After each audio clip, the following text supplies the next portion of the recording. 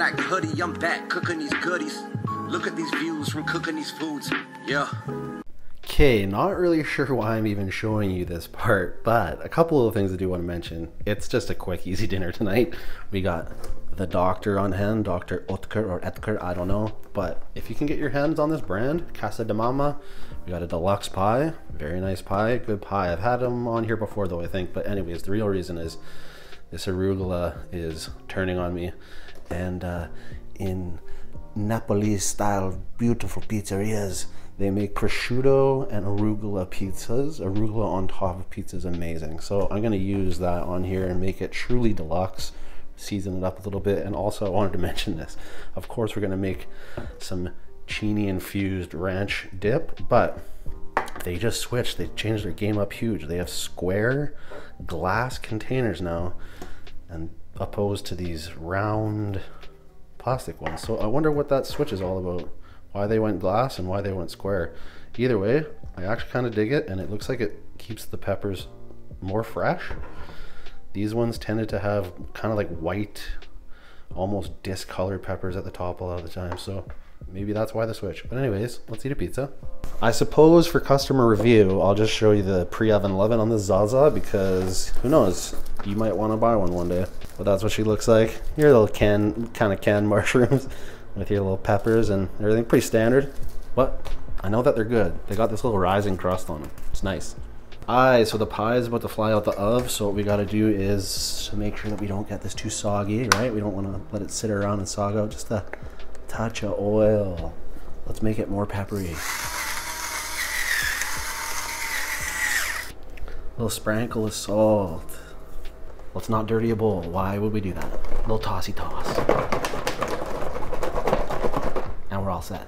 I'm extremely tempted because of the addition of arugula to do a quadrant cut, but it goes against my very nature of I need to have it in eight slices. I just don't understand how you eat a pizza in not eight slices. Ah, now I'm in super debate. Maybe I just do do a quadrant. Uh, I don't know. I don't like quadrants. We'll do an experiment. We'll try two ways. See what works.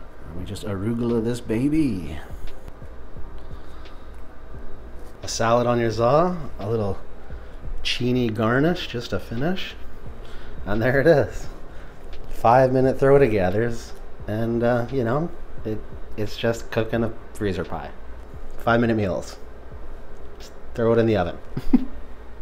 All right, yo, what up? What's good with y'all? I was gonna just probably not even upload or rock a meal with you today, but I figured whatever, freezer pie. I got this arugula I need to use up, but mainly I was excited to report uh, the tra- what transpired, I should say, on the staircase that I talked about yesterday. So I went further into it. Um, some suspicions were came true, but if you don't want to, like, if you're watching it off my recommendation and you don't want it spoiled, I'm about to spoil the whole shit for you. So maybe don't watch this, but I'm going to talk about it for those who have maybe seen it or just in general because some suspicions came true. Okay, okay, let's eat this. Pepperoncinis will just kind of off to the side for a moment, but we will have a first bite with a chain. Um, I think I'm going to try one of the quarter slices first, or not, you know, the quadrant, the big, the big part. And uh, I think I'm actually just going to spoon on our chini juice laden ranch because it's going to be hard to dip into the sauce, I, I have a feeling, because it's going to be like this, you know? But there you go. A salad on your za. Let's, let's do it.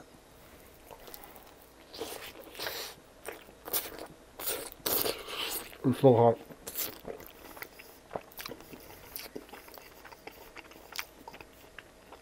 But it's so good.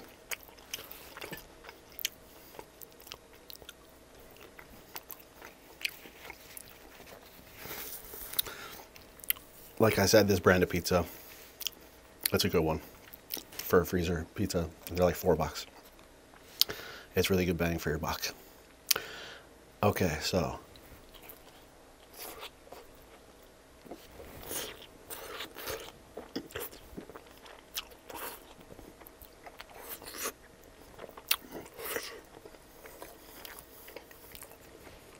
Bottom could use a little more crisp, but the cheese was getting too dark. Okay, if you've never had arugula on your pizza, I highly suggest it.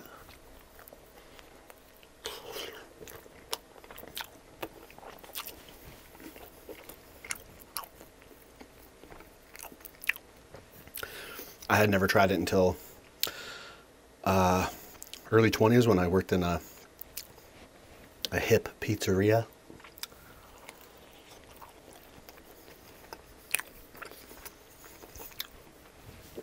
They were slinging uh, like traditional Napolit- Napolitana style pizzas.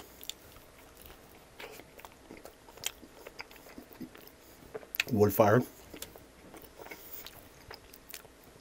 And they had a uh, prosciutto and arugula.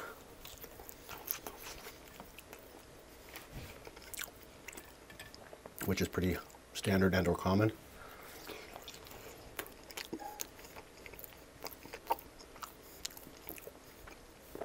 And I really like the addition of the arugula. However, I'm not a fan of prosciutto. And I forgot to have a bite of pepperoncini with the first slice. I'm sorry. Prosciutto is the aroma that it gives off kind of freaks me out. Kind of smells like a little bit like somebody peed in the corner, like when you go to a past a pissy corner, and it's got like that really kind of gross pissy aroma. That's kind of what prosciutto's like to me, and the texture of it is too weird. It's like the chew on it is extremely strange. It all depends on the quality of the prosciutto that you're getting. But uh, for the most part, I've had some good ones that are a little less seemingly kind of gross, but uh, most that I've had are not the greatest. So, sorry if I'm hating on prosciutto and you love prosciutto, but it's not for me. What else isn't for me is when people like who don't really even know what it is, you would take their order and they say pr- pres- presquito because it's spelled like you would kind of pronounce a hard C I U T T O, presquito.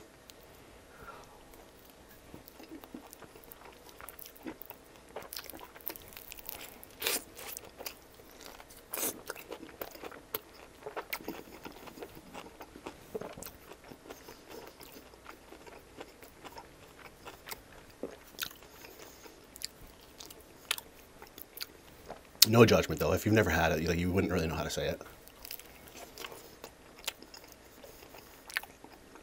Spelling is not everybody's forte, just as math is not mine.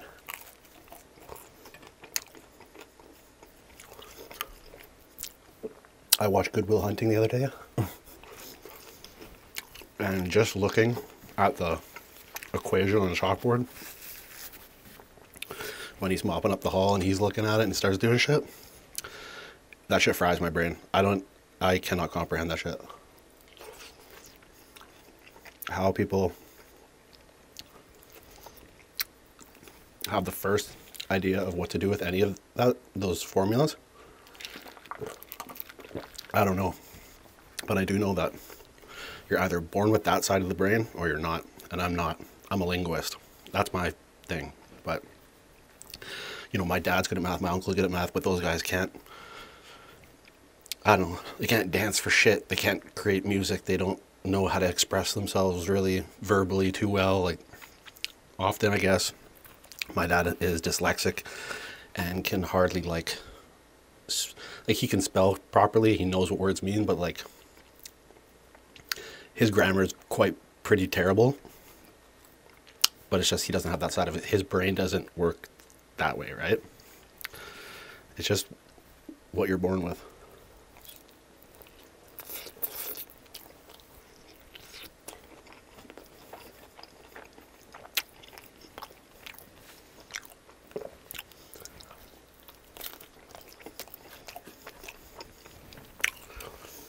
Like I can write a cohesive piece of spoken word with rhythm to a beat,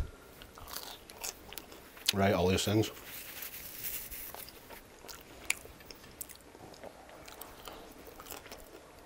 He wouldn't know where to start.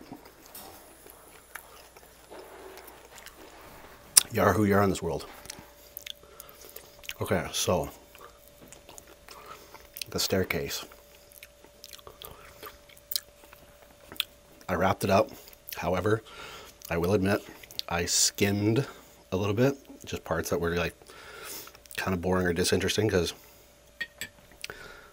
it's a long watch and I didn't have the patience for the whole thing. But I learned everything I needed to know. I watched predominantly all of it though.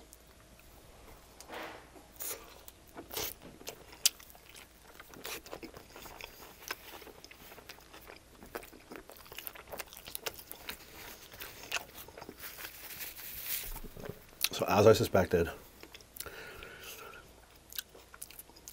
the jury came back guilty for murder one, first degree. I had a feeling it was going to go there.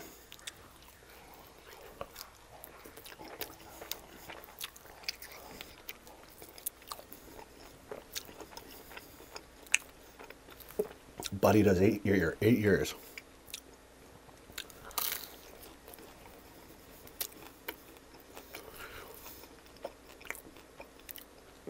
He's like supposed to basically be in for life or die in there, right? But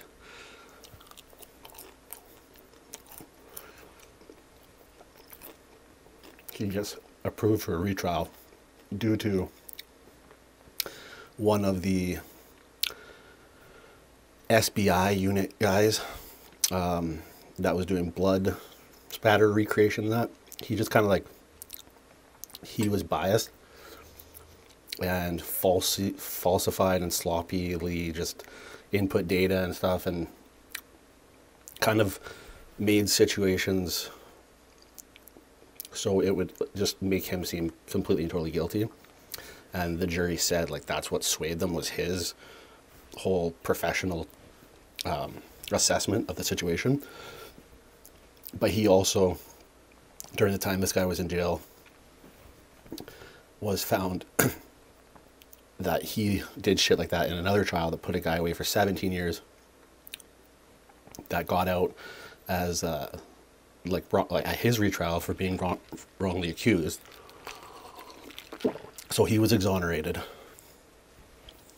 Um, so they sparked up this guy's retrial because that same dude from the SBI unit worked on these cases. So anyways they present retrial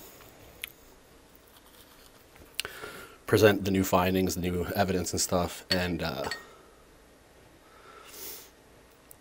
the uh, he takes a plea of manslaughter. He pleads guilty, even though he's he's he says like he's like I did not do that. Like he, you know, when he's talking to his lawyer, he's like, unfortunately, obviously, you're gonna have to like plead guilty, but he's like, I'm not guilty of this. I still maintain that I did not do this, but to get the plea bargain of manslaughter um, he did that so his sentence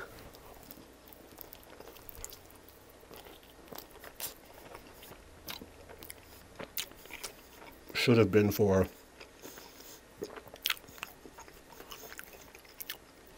a total of whatever months for a maximum on that uh, on that on that verdict on that ruling.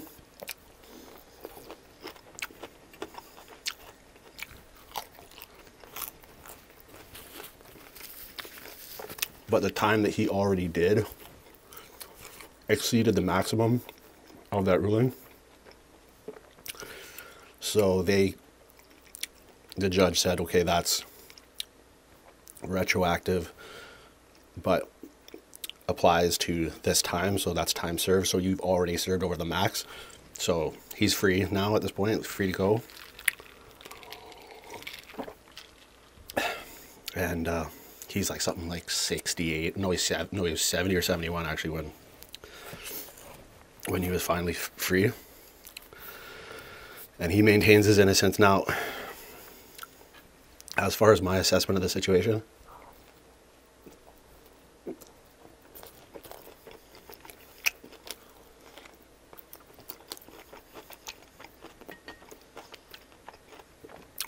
I still have no idea whether he is guilty or not. Because he doesn't seem guilty. So either he has no feelings, no remorse, and he's a really good liar. He does seem emotionally affected by it and traumatized. But there's parts of me that are like,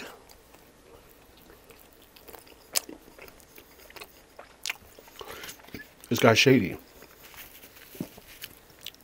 And the whole scene where she was found doesn't, I don't know how that's an accident, but either way, his children, except for one, with the exception of one, they all stuck by and believe him. One, however, did not. And she took up uh, uh, like attack with on the side of her aunts. So her aunts were the sisters of you know the wife that died.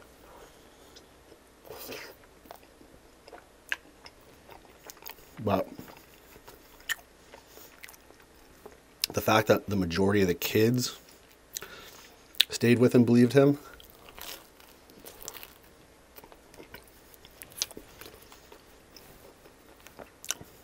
is like you kind of got to believe that he's not guilty of it.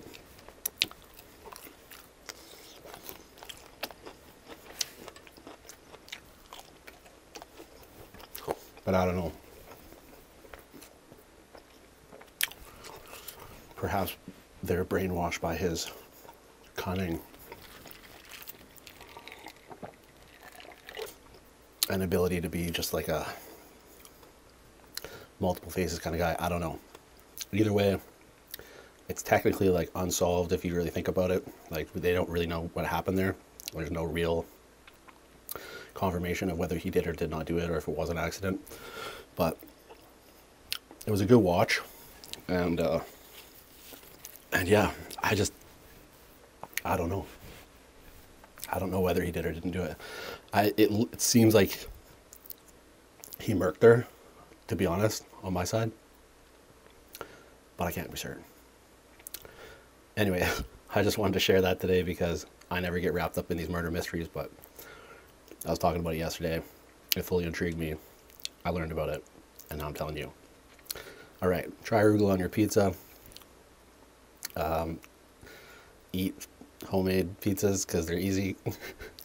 I'm spiced up, I'm sweating, and until the next one, you know what to do eat good, live well stay true. If you like this content, please like, comment, and subscribe, as well as check out my pinned comment down below to find other ways to support this channel. Thank you for watching. Eat good, live well, and stay true.